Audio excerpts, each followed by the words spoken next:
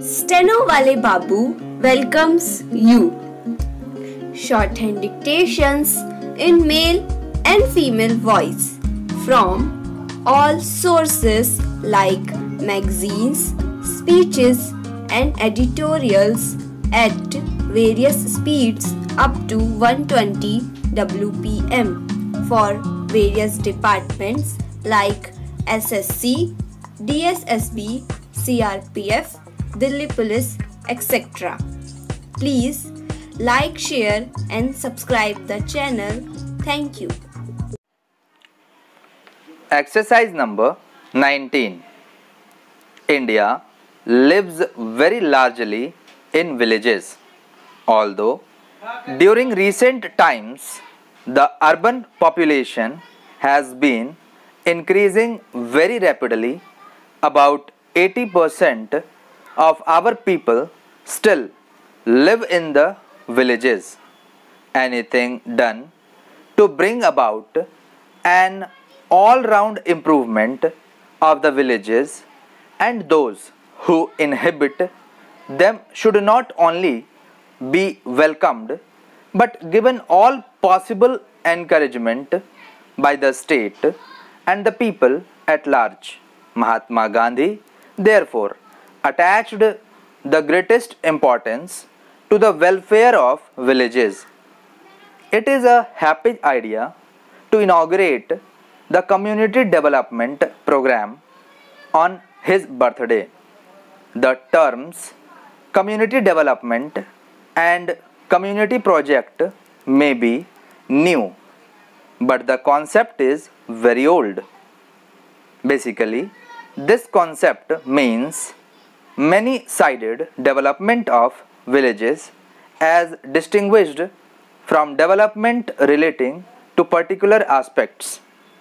Experience in the working of the grow more food programs as well as the programs undertaken by various state governments and private agencies functioning in the sphere of village uplift has established that all aspects of rural life are interrelated and that no lasting results can be achieved if individual aspects of it are dealt with in isolation.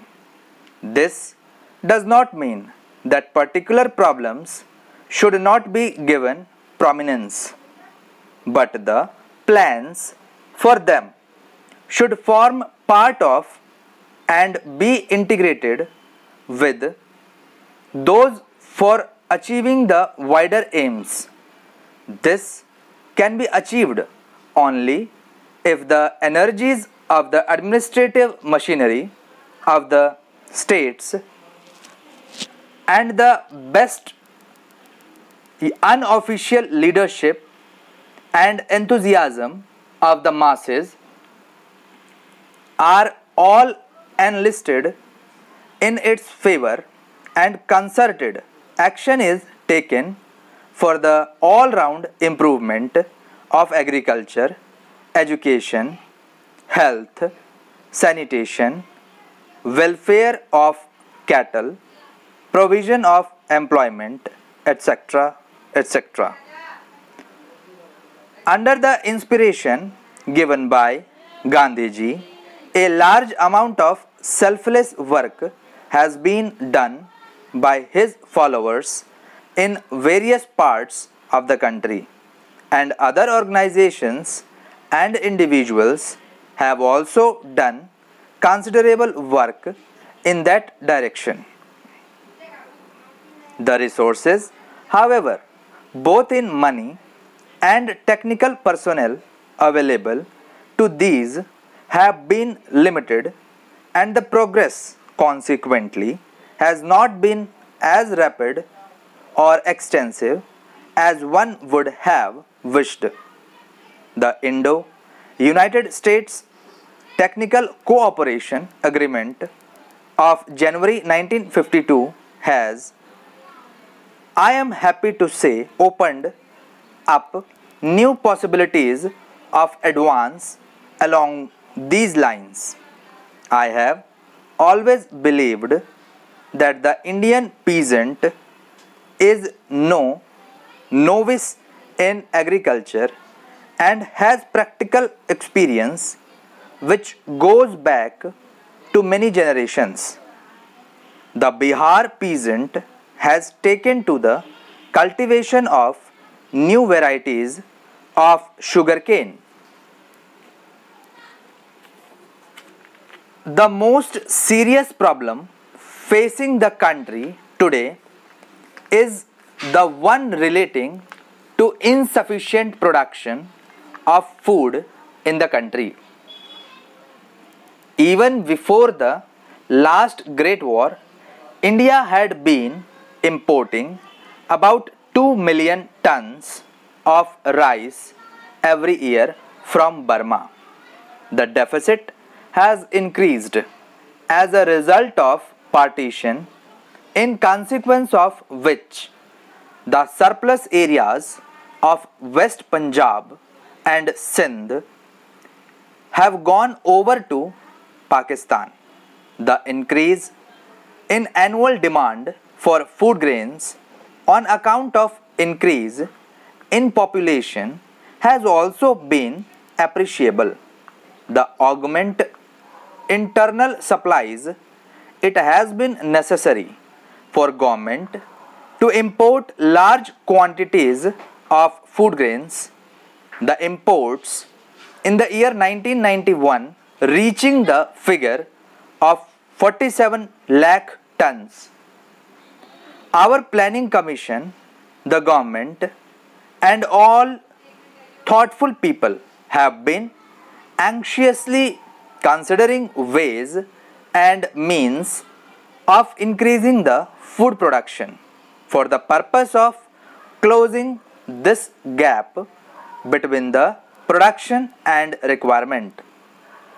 The big river valley projects, some of which are already taken in hand, and others which are under contemplation will take time to be completed and are not expected to yield immediate results.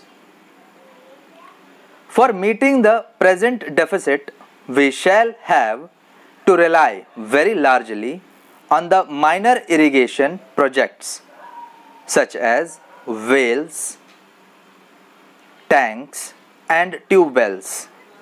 Water available from small rivers, rivulets and channels can also be utilized. I am convinced there is a great deal of scope for these small projects and I have no doubt that if these satisfactorily handled, we shall be able to close the existing gap in our food supply.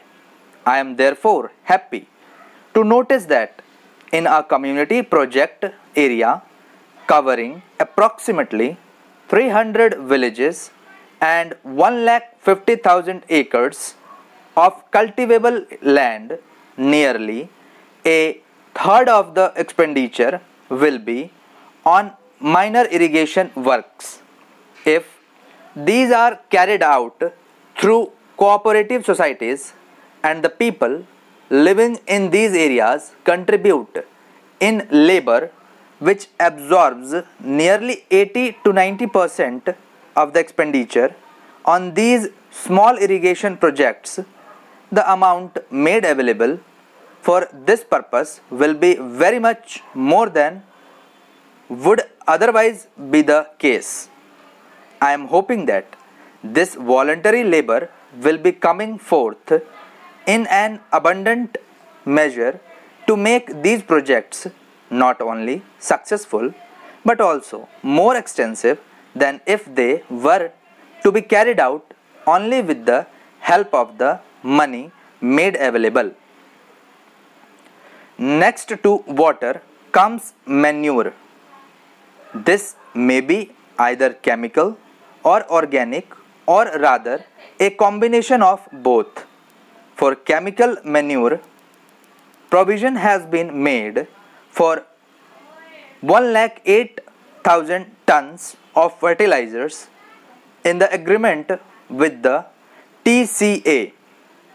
This will be supplemented by supplies from the output of the Sindri factory. Thank you.